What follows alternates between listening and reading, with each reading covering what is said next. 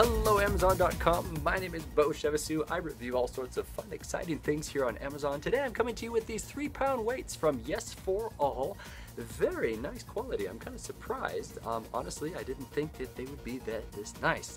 They appear to be dipped in some form of rubber um, because they're kind of bouncy um, which is nice. So if you are so exhausted and fatigued from your little dinky three pound weights and you drop them, they probably won't dent your hardwood floor very much. Still, there's some weight to them.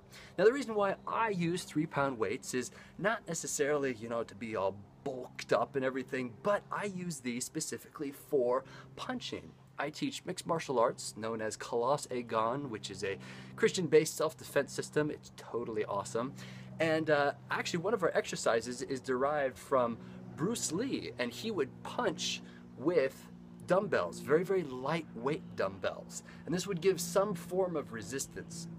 Now, be careful with these. Don't completely go full force with these or else you're gonna get tennis elbow or, or you know, you're gonna throw out your joints. Too much strain on them. But if you do this about 300 times and really get used to your punches, then wow, these will build up your technique very, very well.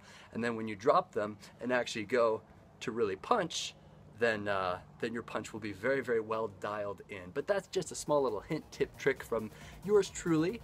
Overall, very high quality. I really like the, uh, the rubber texture to them. And uh, overall, impressed. Can't really go wrong with dumbbells. My name is Beau Chevassus, and I look forward to uh, reviewing more fun things here on Amazon.com.